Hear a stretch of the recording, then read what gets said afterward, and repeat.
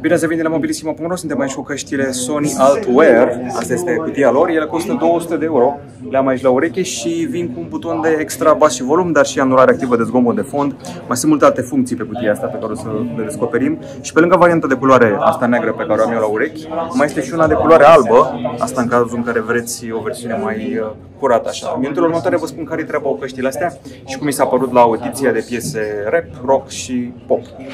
Așa arată așadar noile căști Altwear de la Sony, în versiunea de culoare albă și cea de culoare neagră. Preț de 200 de euro și avem aici funcțiile listate pe această cutie. Vedeți voi, este un buton special alt care adaugă extra bas. Cândva funcția asta se activa prin butoane dedicate mega bas pe produsele Sony.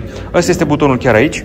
Mai avem și un buton de anulare a zgomotului și de sunet ambiental, plus butonul power, conector USB-C, microfon și jack audio.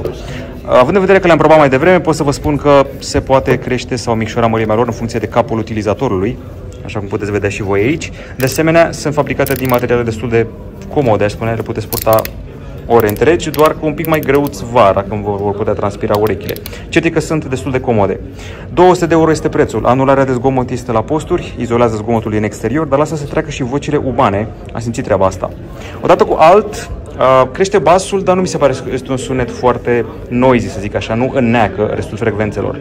Treble-ul nu mai este la fel de bine simțit, dar nici nu dispare. Asta trebuie să rețineți voi. Văd că primim și un pouch la pachet.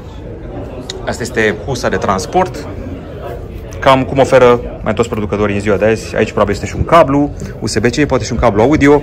Are suport pentru acustică la 360 de grade, 360, 360 uh, reality audio, 30 de ore de autonomie, conexiune multipoint. Mai mult decât atât, suportă OK Google, Alexa și se pot conecta la iPhone, cum am făcut și eu, și la iPod. Cam asta este perechea Sony Altwear și aici vedeți conținutul cutiei. Am avut dreptate cablu USB-C și cablu audio.